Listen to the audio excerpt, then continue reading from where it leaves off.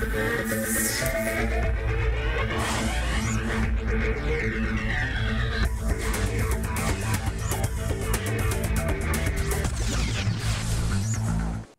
Welcome back. You're watching Stockwatch with me, Julieta Televi, and joining me to take your stock-related questions this evening are David Shapiro from Sasfin Securities and Wayne McCurrie from FNB Wealth and Investments. If you'd like to send questions, please email stockwatch at bdtv.co.za or via SMS on 41392. Uh, for the time being, we only have David because I'm not quite sure where Wayne is. Um, you know, you'd think that he'd remember it's 6.30 and it's Wednesday. trouble, yeah, because I haven't been here for a couple of weeks, so yeah, I'm well, not really familiar, you know, with the, with, with uh, the latest news. So um, Wayne better put but, out that smoke and just get onto get onto. Get onto the TV, yes.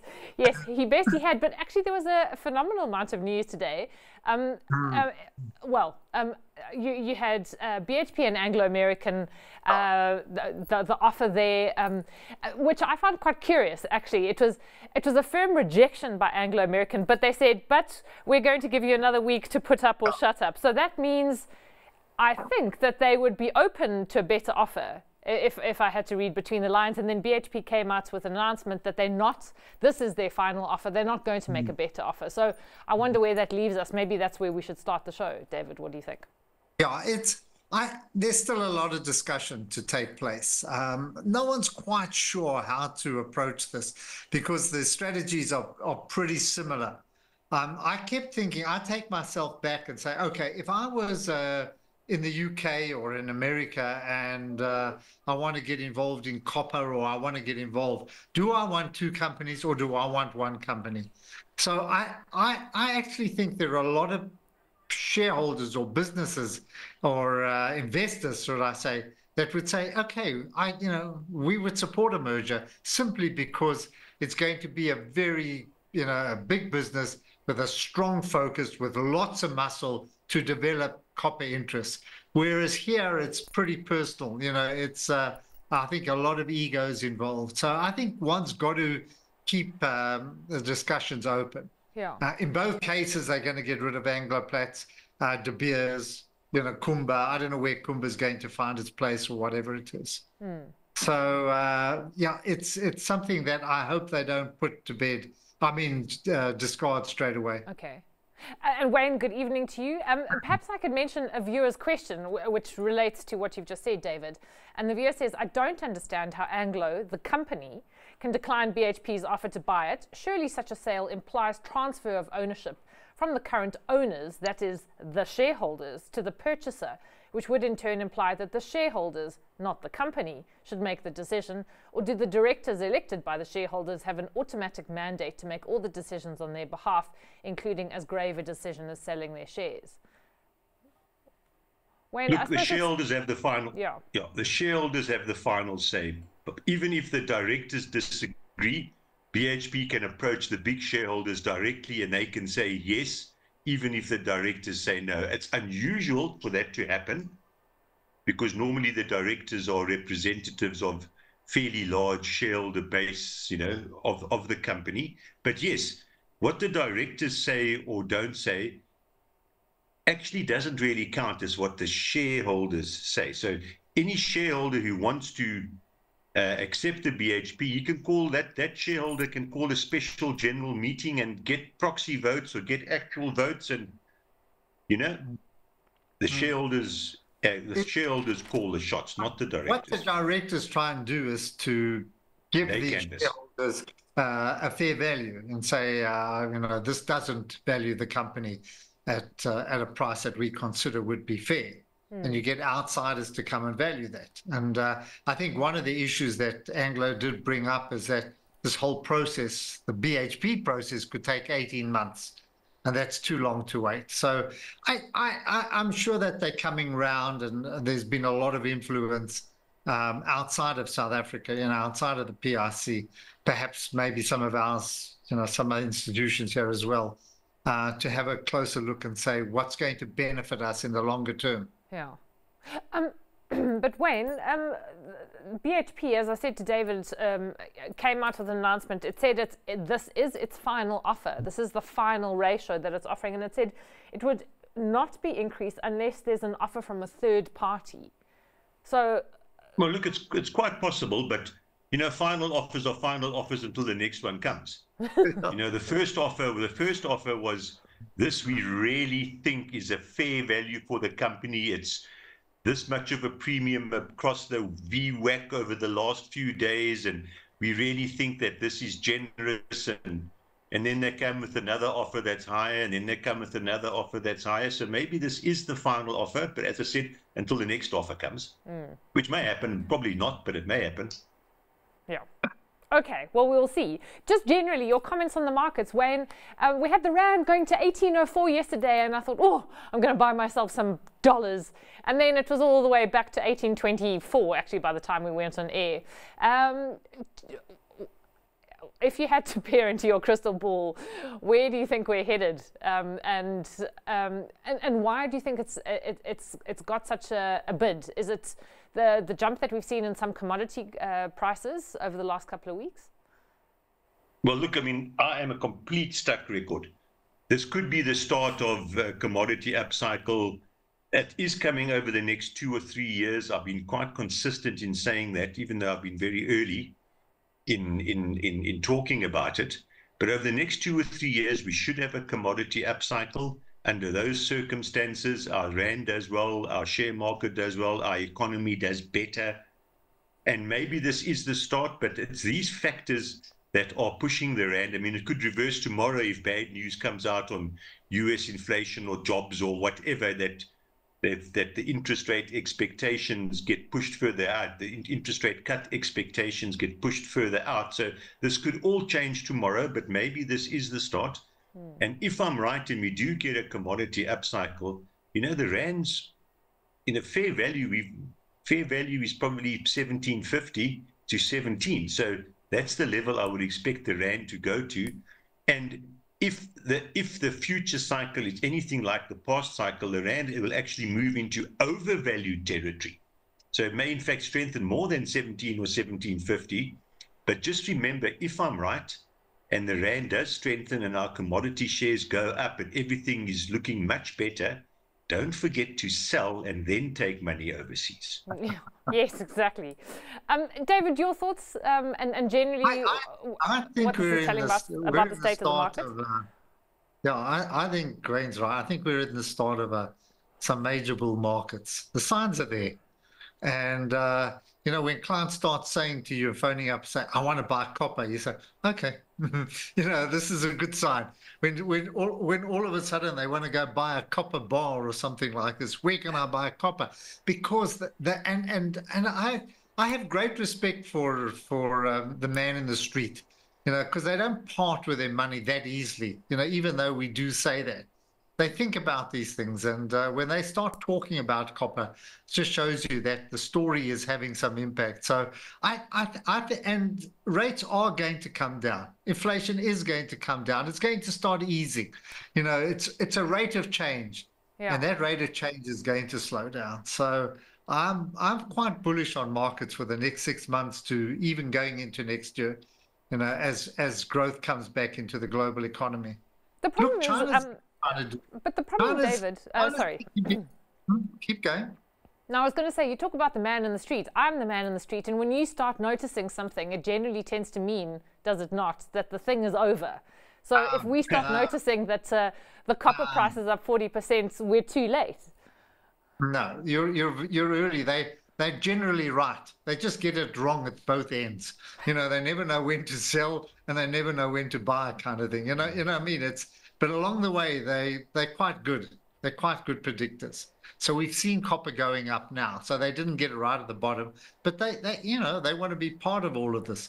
So I think um, I can see a lot more activity, and uh, people are getting more confident and going out there and now starting to suggest equities. You know, you're finding competition coming in. Uh, suddenly, clients are saying, you know, I spoke to so and so, and uh, he told me to do this, and I should be should be doing that and this. So you can hear the conversation changing, mm. and and I think it's a good sign. And um, um, it's not going to be too long before US starts to talk about reducing rates. You know, the economy is yeah. starting to teeter a little. So yeah. Wayne's right. You know, he's going to be. Yeah. And the Rand, sorry, the point is that the Rand will go to 17, 17, 50, no doubt. And it could be there by next week, two weeks' time. You know, and I mean, just on that point of David, you must understand how quickly things can can turn. I mean, I'm looking at my chart here. End of April, the ANC was going to get 40%, the MK was going to get 15%, the EFF was going to get 15%. There we are going to have a government coalition between the ANC, the EFF. Everything was just absolutely going to be a catastrophe, and the rand was just going to weaken. I mean, it touched 17, 20, 1925, and literally in a month, in less than a month, it's threatening to go through 18. These hmm. things can swing quickly, eh? yeah. positive and negative. Yeah.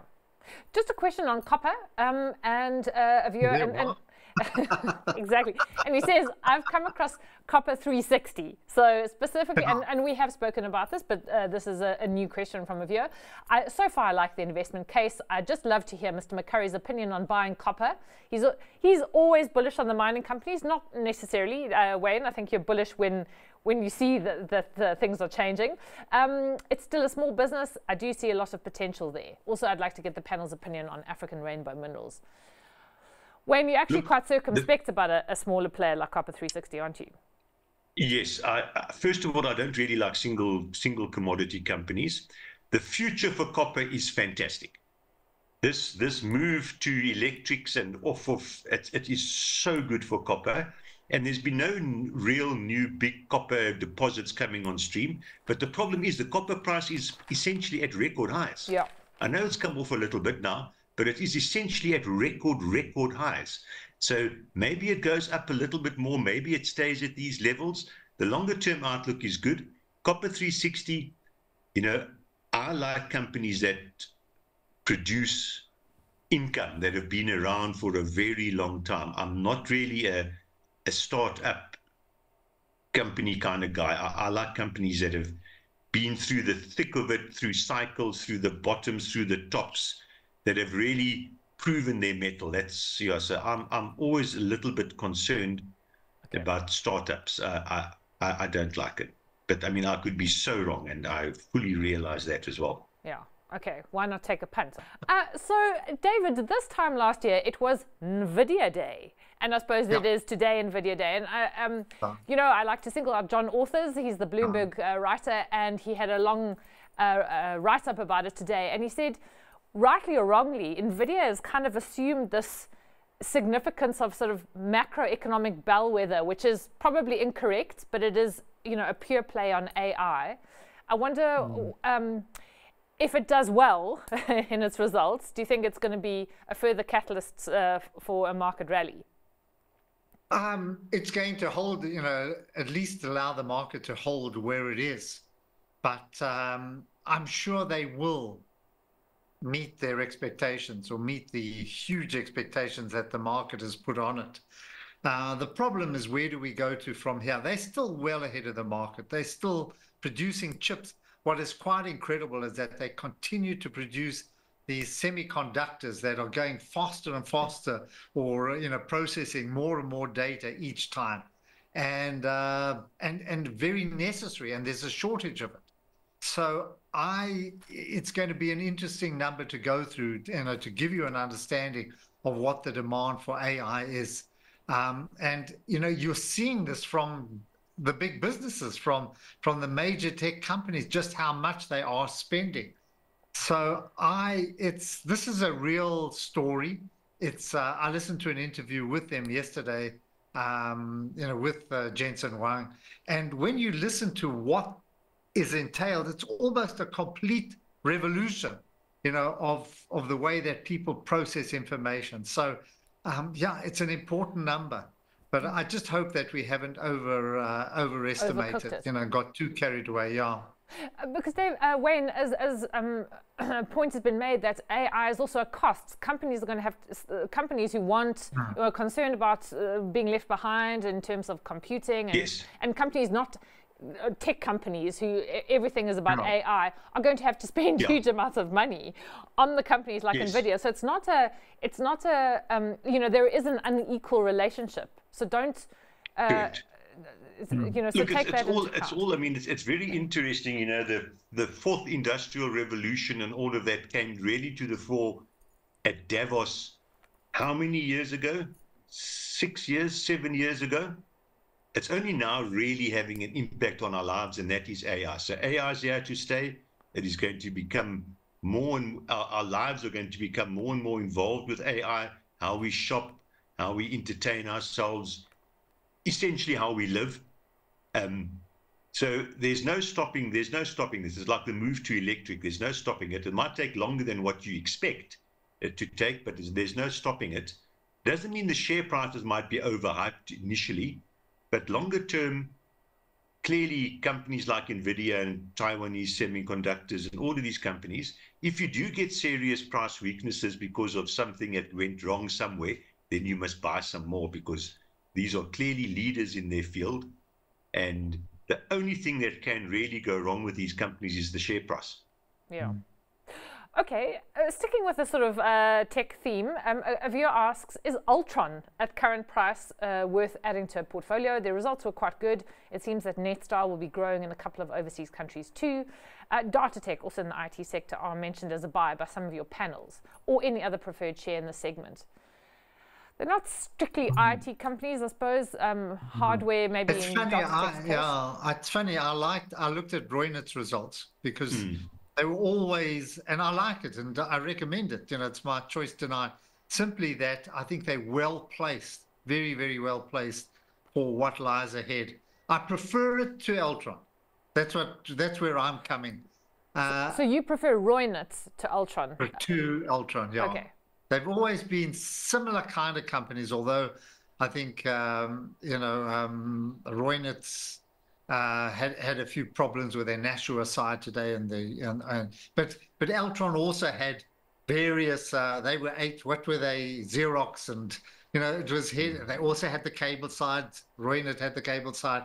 But you know, when I look at them today, I think I prefer where um, you know where Reunert's going, um, okay. going through their numbers. And if you look at the chart, it's pointing in the right direction. Mm. Um, they're also all now in renewables, you know, in solar power and so and so. So yeah, it is a nice area. We need a little bit of help from the economy, but um, you know, they they the companies kind of Wayne mentioned. They've got history. You know, they've had history, so it's they're not newcomers to uh, to the market. Yeah. And um, look, that's look, a, David and I remember the old Altron, which wasn't good. Oh. Eh? Yeah. The old Altron wasn't good, but that's changing. I mean, I can certainly remember Reunert used to make locomotives. Mm. yeah, Roy, uh, is a, sort of an interesting case in a company that is mm. adapted. Um, but but mm. to yes. the viewer's question, I mean, specifically on Altron and Datatec, um, so Altron actually, you can also see it had a nice uh, spike high in the share right. price. Yes. Datatec, would either of you consider it? Wayne? I don't know enough about Datatec. I, really, I can't comment on Datatec. And and on Altron per se, I mean, interestingly enough, the the man who I think uh, set Altron on the right course is also the current chairman of Eskom, um, yes. Nyati. Um, would you? Yeah, I, I, I think I think Altron the last results, and as the as the viewer said, the last results were good. Mm. Okay. Yeah, it, it, they battled a bit after after um, unbundling Bytes but uh, and Bytes, I like Bytes as well. But um, you know, and, and, looking at that area, that's why I'm saying when I when I do a comparison, I prefer to, you know, I prefer uh, Reunert, which okay. is in a way supporting Altron, yeah. although you know supporting the area that it's in. Yeah. yeah.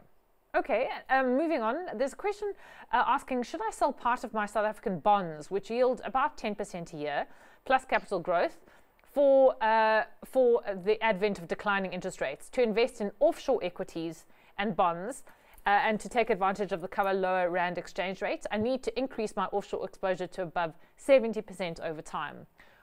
Uh, Wayne, would you sell uh, yeah, now's not bonds the time, now? Now's not the time to do it. If, if interest rates are falling, the rand's going to strengthen. Mm. You must remember, interest rates falling, it doesn't affect your long bond. Your long bond's driven by the market. In fact, your capital goes up. Yeah. Your capital goes make, up. Yeah, you make a so, capital I mean, profit. Mm. Very simplistically, the Reserve Bank in SA will get inflation to average 4%. They will do it. Mm. Whatever the cost is, they will do it. You're getting 10% on your bond. Uh, a sustainable real yield on the bond shouldn't, in theory, be more than 4%.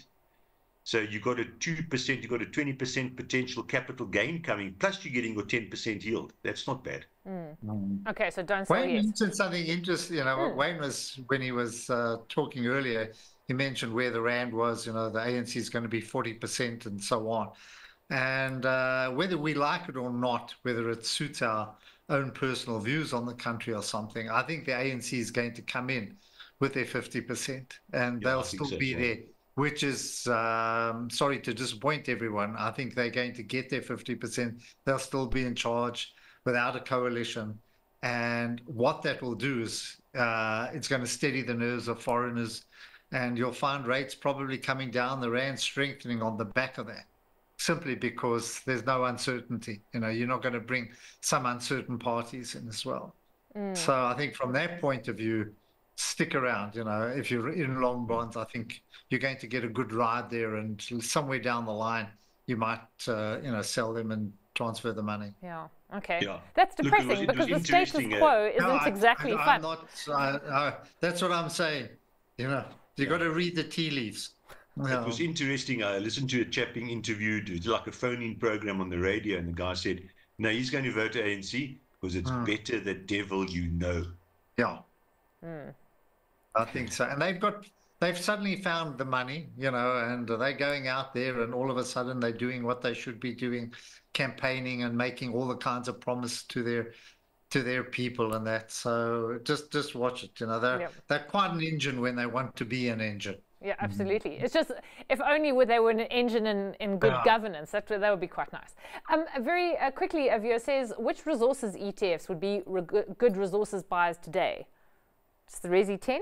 Or uh, do you think they are, uh, or am I just I uh, too narrowly focused yeah. there? No, it's probably the Resi 10 because it gives you, you know, it gives you all the big ones. Yeah. Yeah. I, d- I don't know the others. I don't, I don't know, know what's. Mm. I don't know what, what ones are available, but I would try to find one that doesn't have gold shares in it. Mm. Because they looking very topish. Mm. Yeah, and you can, you know, even if you buy one, even if you buy Billiton and Glencore or something rather than an ETF, it's it's maybe uh, you're getting the kind of exposure that you really need. Um, I don't know. I, I I I haven't bought a resource ETF. You know, if mm. if any portfolios, I would have probably Billiton. Okay. You know, anyway. Mm. Yeah, which doesn't unfortunately give you exposure to all. Mm to all resources. Okay, well, I'll get you a stock picks. Um, so, David, you've already sort of partly given us, but maybe you can mm, add something mm. there. But I'm going to ask Wayne first in that case. Wayne, what are you going yeah, for I'm, this evening? I'm going for the US retailer Target. I mean, I know the share price is being hammered, but it's it's actually, David and I don't have a cup of tea or a cup of coffee or a, a Johnny Blue before the meet, before the, the, the, the TV. But what he said was very relevant. He said the US is showing signs of slowing down a little bit and that's exactly what Target said. They said, you know, we've had to cut prices on 5,000 or 10,000 line items because the consumer's under a bit of bit of strain there. But I mean, that's not the reason why I'm buying the share.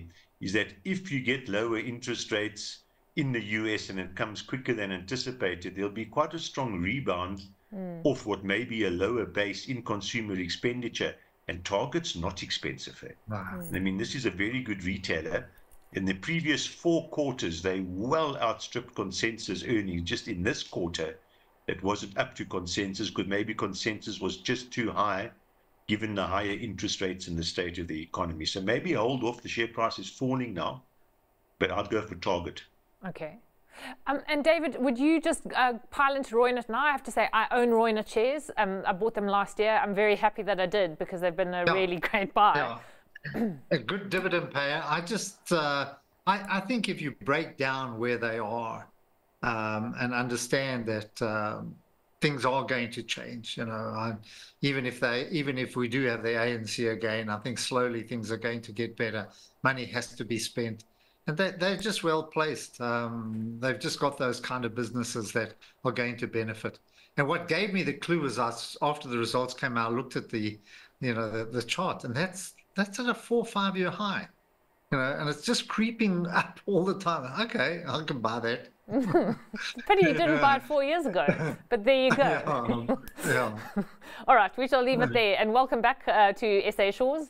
Um, uh, David Shapiro is from Sasfin Securities, Wayne McCurrie is from FNB Wealth and Investments. Up next, so we have the close. Stay with us.